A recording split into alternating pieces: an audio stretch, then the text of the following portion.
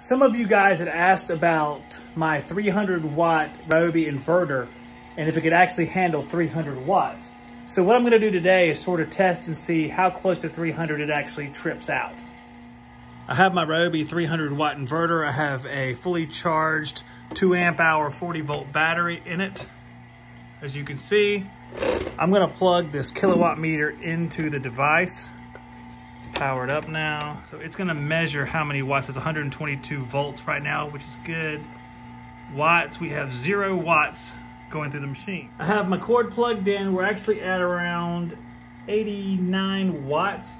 I have a power strip over there and we have one light on maximum and this television's on.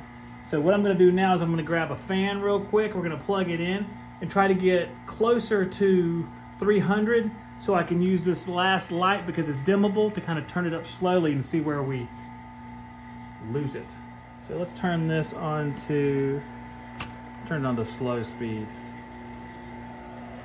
So that puts us at 142. All right, let's go up to medium.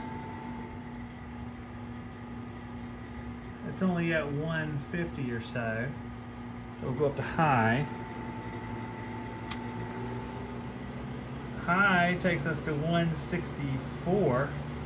So we're gonna need something else probably, although that wind feels good. It's warm in here. All right, I'm gonna turn my Ryobi fan on low speed. Can't hardly hear it over the other fan. At 166. High speed. 176. Man, we're gonna have to get some more stuff. All right, we're at 175. I'm gonna turn this fan, which is a little bit beefier. Let's see what happens here. Oh, 233 was the last one. Let's see. 271, 79, 80. Must have been that starting amperage. Tripped it offline. All right, let's see how close we can get now. Slowly but surely turning the light on. Up 281. Let's see what happens now. See if it comes back on.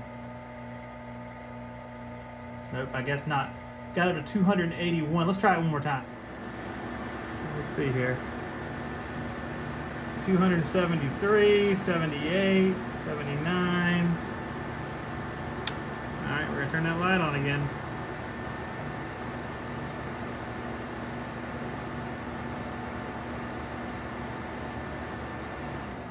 Uh, looks like about 280, 281 is where we hit the mark. Let's see if it resets. Nothing's happening. Okay, so it looks like we get to around 280, so a little bit short of what the manufacturer said. What do you think of this device? I like this thing, and it's close enough that I think it's good.